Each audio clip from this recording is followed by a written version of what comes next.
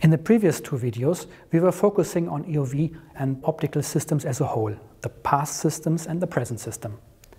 In this video, we will have a closer look at the manufacturing technologies that make these systems possible. The stable performance of the optical system can only be achieved by applying leading-edge technology and a controlled production of its components. After the raw optical material is being produced at the supplier, the blank material arrives at the factory at size. The first production step that the blank material sees is the optics production. Let's have a closer look at that. And this is how an EUV mirror looks like. The first step in the optics production is generating the basic shape of the mirror. Depending on the material, grinding or milling tools are used. Roughness reduction is achieved by polishing with large tools. Choosing appropriate polishing slurries and polishing pads is crucial. A full mirror specification will typically be below 100 picometer RMS. This error contribution represents the total effect on the system wavefront caused by a single mirror.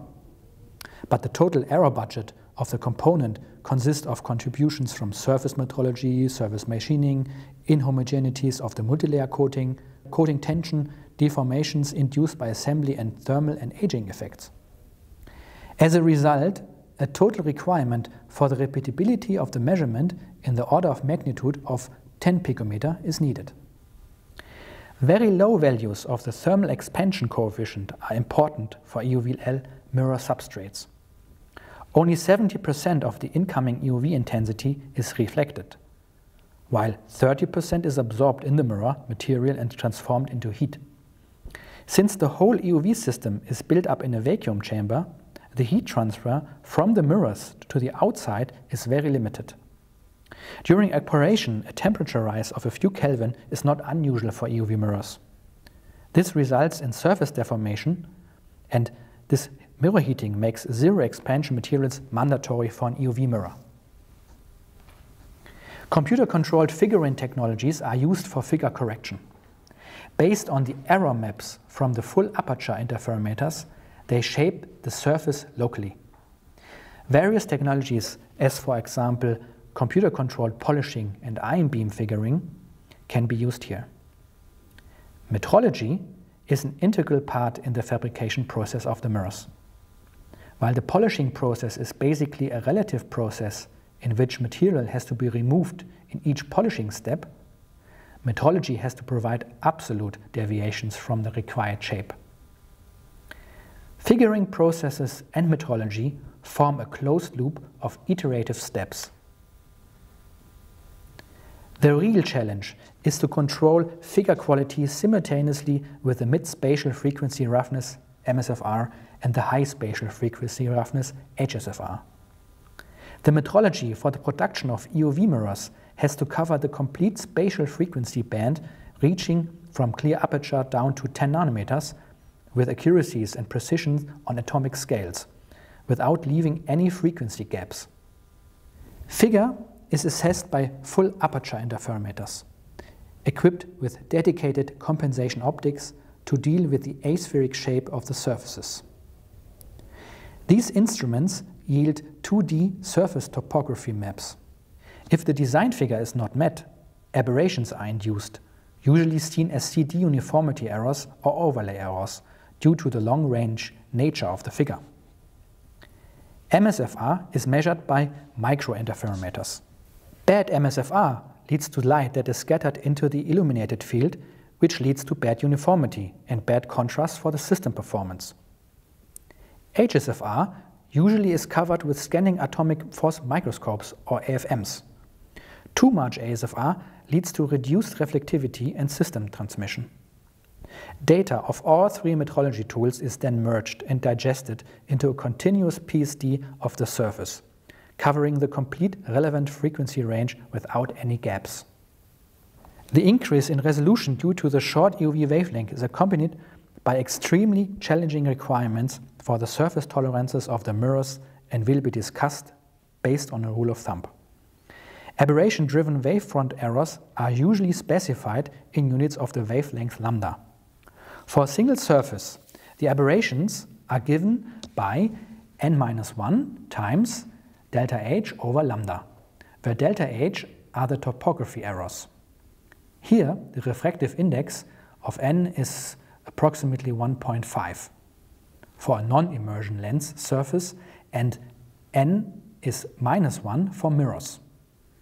Therefore, mirror surfaces are generally four times more sensitive to surface errors than lens surfaces. In addition to the increased sensitivity of mirrors as compared to lens surfaces, also the short wavelength itself enhances the implications of the surface topography. The total wavefront error for all lens elements has to be multiplied by the square root of n. n is the number of optical surfaces. For an EUV system with 6 mirrors having the same wavefront quality as a deep UV system with 60 surfaces, the surface quality requirements scale like this. The requirements on low figure errors are approximately 20 times tighter for EUV surfaces. This table summarizes the key performance improvements for figure, MSFR and HSFR on mirror level over the different size EUVL tool generations. The sizes of the mirrors became significantly larger from tool generation to tool generation. At the same time, the surface performance requirements have continuously been tightened with each EUVL tool generation in order to comply with challenging imaging and throughput specifications. The MSFR roughness has improved by a factor of more than 3. In order to keep the OPC effort within reasonable limits, nowadays a flare target of below 4% is required and indeed achieved for 3300 and 3400. To visualize what these specifications on a mirror mean, you could use the following analogy. If you would inflate the size of a single lens element to the size of Germany, the tallest height or the tallest mountain would be roughly 100 micrometers. After the polishing of the surface is finished, a multilayer coating is deposited onto the surface. The EUV coating is the only element that is interacting with the UV light. Therefore, the coatings are the only elements in the whole structure of the scanner that are optically active. A typical EUV coating consists of around 50 bilayers of molybdenum and silicon. Together, they form a so-called Bragg reflector. The reflectance curve over wavelength of such a coating is usually roughly a bell-shaped curve. For high bandwidth, the maximum reflectivity is around 67%. Typical values for layer thickness control and lateral uniformity are below 0.2%, and the coating stress shall not be greater than 100 megapascal. The coating shall also work at temperatures up to 200 degrees Celsius. Coatings behave very differently when you move from deep UV to EUV. Let us have a look at the situation in deep UV first. Considering an uncoated lens element, about 92% of the incident DUV light is transmitted, while the remaining 8% are reflected at the front and back surfaces.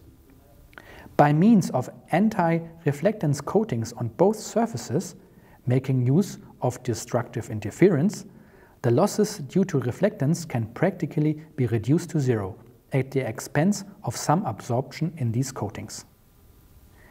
In total, still the transmission can be increased roughly from 92% to 99%. Let us have a look at EUV. In contrast to this, both transmission and reflectance of an EUV beam incident on an arbitrary uncoated lens element or mirror surface substrate are zero.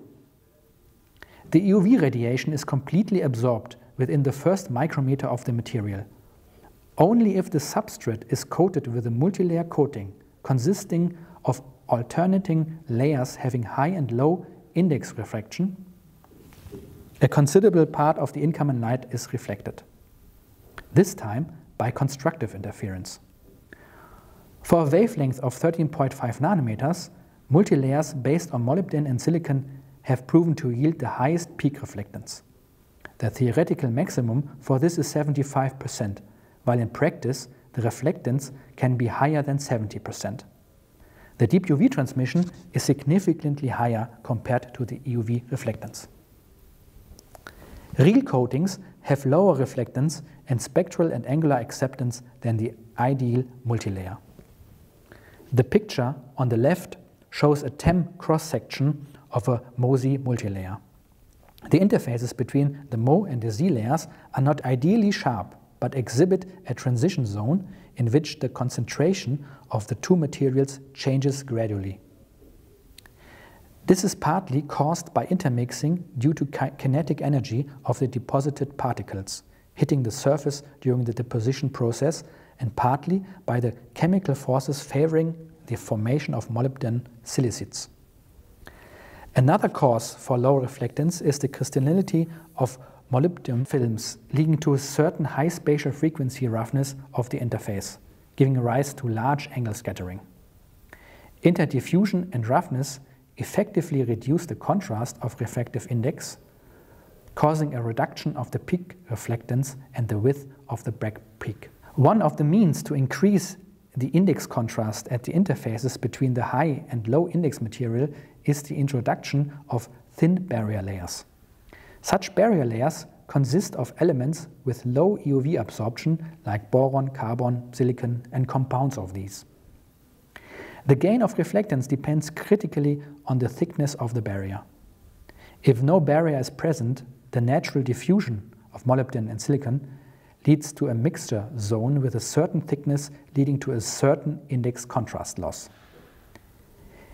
In case of a barrier which is thinner than the natural mixture zone, the index contrast is improved.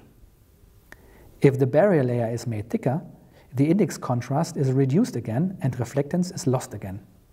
It turns out that there is a narrow regime of barrier layer thicknesses where the contrast is best.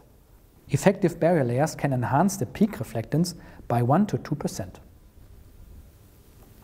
Also, the roughness of the surface on which the multilayer is coated leads to a reduced reflectance. To reduce the surface roughness of the substrate, either the polishing can be improved or the rough substrate can be coated with a smoothing layer. If the energy of the particles on the surface is low, the lateral mobility is also low and the layer tends to roughening. With higher particle energies, the mobility is increased and particles are more likely to travel from a hill down into a valley, thereby creating a smoother surface. I already explained that the surface of a mirror in an EUV lithography tool has to meet demands in all three spatial frequency domains, namely figure, MSFR and HSFR. The EUV coating can change these properties. In the MSFR, the PSD is largely replicated by the coating, while the HSFR is subject to roughening or smoothing depending on the coating process parameters. Long-range figure errors are induced by the coating via the coating stress and the lateral layer thickness gradients. This closes the discussion on the optics production. An EUV system also consists of a lot of mechanical and mechatronical components. So let us have a quick look at one mechatronical aspect of an EUV system. Not only must the surface be produced with a sub-nanometer accuracy, but the mirrors themselves must be positioned with sub-nanometer and sub-nanorad accuracy within the optical column, and that is during operation in the scanner. This performance is achieved because the position of the mirrors is continuously measured. And this information is feedbacked into actuators that hold and move the mirror. Depicted is a test module for EUV mirror positioning. To visualize what the specification of nanorad means, you could use the following analogy. If you would inflate the situation to the distance Earth to Moon, you could control the position of an image on the Moon with less than 20 centimeters accuracy. These were only a few examples demonstrating that it is really leading edge technology that make these EUV systems possible. That concludes our introductory course into EUV optics Thank you for watching.